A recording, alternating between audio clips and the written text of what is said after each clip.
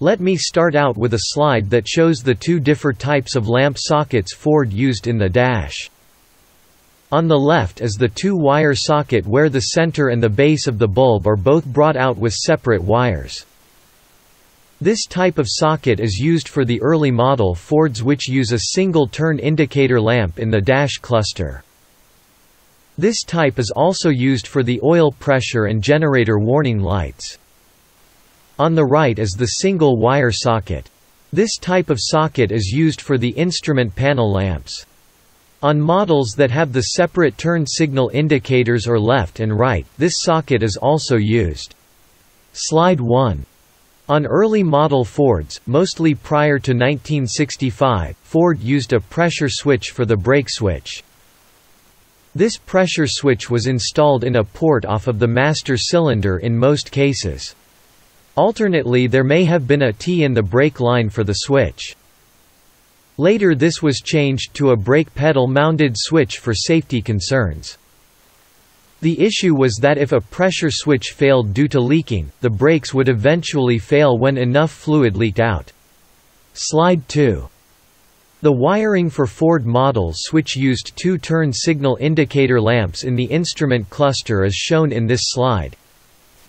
Please consult your wiring diagrams, which can be found on the Internet, for your particular model. Many Ford model wiring diagrams can be found at oldcarmanualproject.com. The remainder of the slides in this video will use the single signal indicator lamp of the earlier Fords. Also the brake pedal mounted brake switch will be shown as opposed to the pressure switch. Vendors for early model Ford parts make a retrofit kit to eliminate the pressure switch and add the brake pedal mounted switch. This modification is highly recommended. Slide 3. Here we have a slide showing the system with the turn signal switch in the center position and the brake not applied.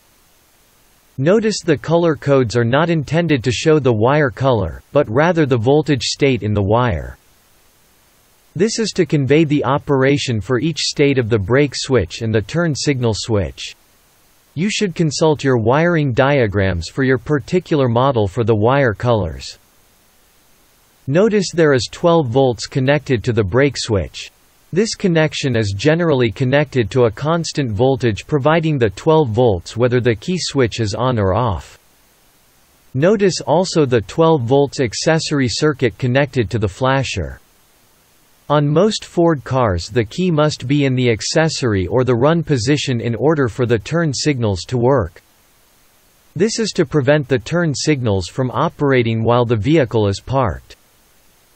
Imagine coming to your vehicle the next day to find a dead battery because you forgot to center the turn signal switch. Also notice that the output of the flasher is shown solid red which indicates there would be 12 volts on this wire.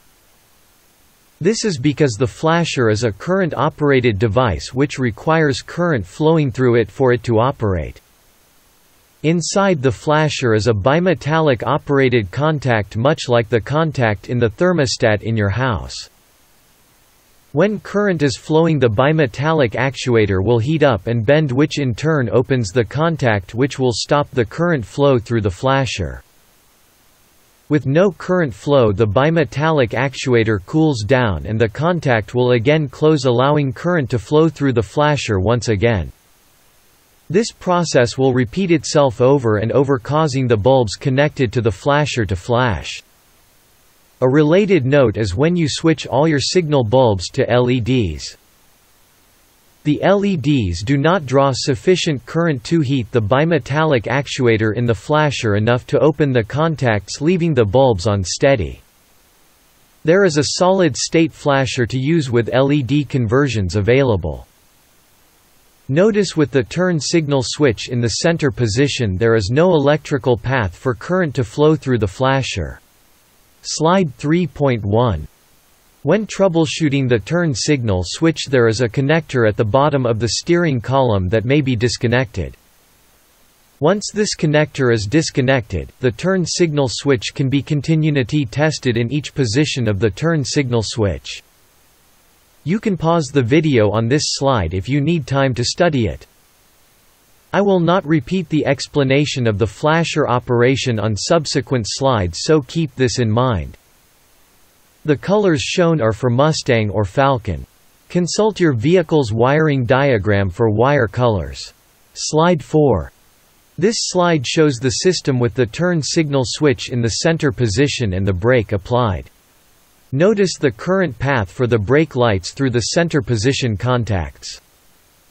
Notice also there is not a path for current through the flasher. Slide 5. This slide shows the system with the turn signal switch in the left turn position and the brake not applied. Notice we now have current flow through the flasher since there is now an electrical connection from the flasher connection to the left front and rear direction signal lamps and the turn signal indicator. Also notice the current flow direction through the turn signal indicator lamp is from the turn signal left front wire. Through the small signal indicator lamp and through the right front turn signal light. You may ask why both the signal indicator lamp on the dash and the right turn signal light don't light up since there is current through both lamps. The reason is the dash lamp is a small normally a number 1895 lamp that has only a 0.27 amp current draw, or about a quarter amp. The right turn signal light normally a number 1157 has a current draw of 2.25 amps. The small draw of the dash lamp is not enough to cause the right turn signal light to illuminate. The number 1157 bulb used for the front turn signal light's resistance is only about 5 ohms. So it being in series with the dash indicator lamp only causes a small decrease in the lamp brightness. Since the dash indicator lamp uses the opposite turn signal light for its ground, the turn indicator will only flash in one direction. For example if the right turn signal light is burned out, the dash indicator will only flash in the left position. Conversely, if the left turn signal light is burned out, the dash indicator will only flash in the right position. You can see how this could be pretty confusing if you did not realize the dash indicator relies on the front turn signal lights for its ground. Slide 6. This slide shows the system with the turn signal switch in the left turn position and the brake applied. Notice the current path for the brake lights through the left position contacts. Slide 7. This slide shows the system with the turn signal switch in the right turn position and the brake not applied. Notice the current paths from the flasher to the front right turn signal light as well as the rear front right turn signal light. Also notice the current flow through the dash turn signal indicator is reversed from when the turn signal switch was in the left position. This is why switching the bulb for the dash turn signal indicator to a LED, only allows the bulb to flash in one direction only. LEDs are light-emitting diodes which like all diodes, current will flow in one direction only. If you want the dash turn signal indicator to be an LED, some rewiring of the socket will be required. I will show a slide for this modification at the end of this video. Slide 8. This slide shows the system with the turn signal switch in the right turn position and the brake applied. Notice the current path for the brake lights through the right position contacts. Slide 9. This slide shows the modification that can be made to allow an LED be used in the dash turn signal indicator. Cut the two wires going into the dash turn signal indicator socket.